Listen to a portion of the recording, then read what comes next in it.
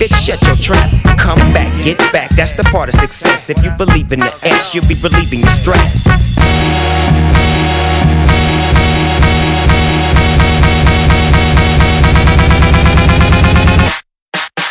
Hold up.